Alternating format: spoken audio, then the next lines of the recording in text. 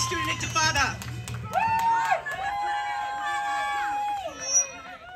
Now, since we are in town with Kamala, but also as a reminder to all of us, I want to talk about what's happening on the ground in Gaza. Except it's really hard because there's no journalists left in Rafah.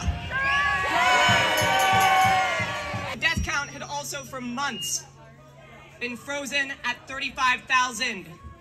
It has only recently jumped to 40,000, but we know this is still a horrific miscount because of the people trapped under rubble. Because the people who are counting have been bombed. And because our media, our mainstream media, has a vested interest in lying to us and downplaying the severity of this genocide carried out by Israel with our taxpayer dollars.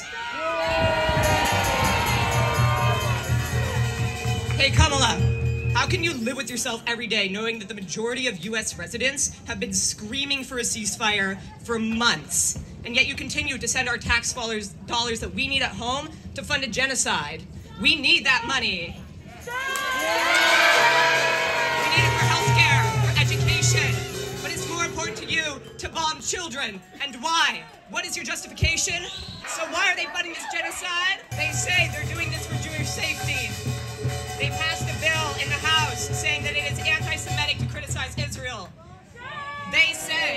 shame, yeah.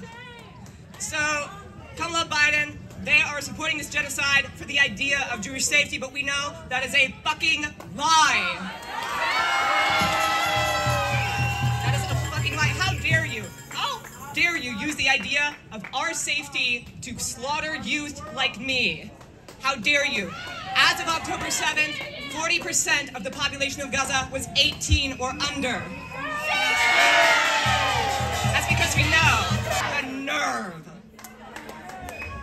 We see through what this is because it's not about safety. It's not about safety for me. It's not about safety for anyone. It's a resource grab. It is for oil. It is for gas. It is to make them richer. It has nothing to do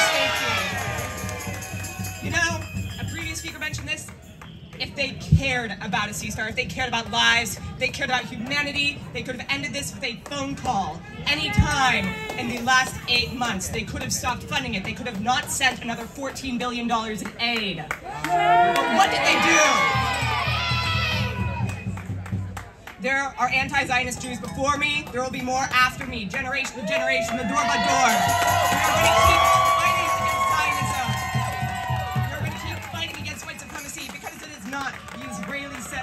Makes us safe. It is not Zionism that makes us safe. It is not U.S. imperialism that makes us safe. It is solidarity with other oppressed peoples that makes us safe.